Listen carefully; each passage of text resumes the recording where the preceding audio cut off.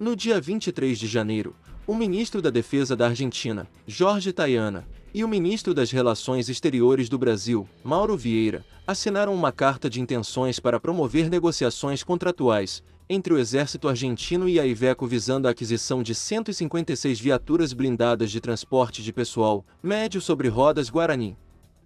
Das 156 unidades, 120 serão para transporte de tropas, equipadas com o sistema de armas remotamente controladas Remax 4. 27 viaturas de combate de infantaria, equipadas com a torre UT-30BR-2, e 9 viaturas posto de comando.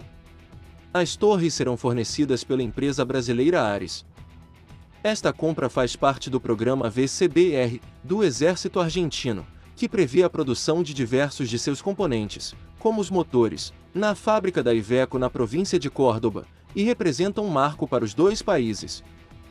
Em abril do ano passado, os argentinos voltaram a testar o Guarani, em solo argentino, por meio de uma viatura cedida pelo Exército Brasileiro, pertencente ao 5 Regimento de Cavalaria Mecanizado.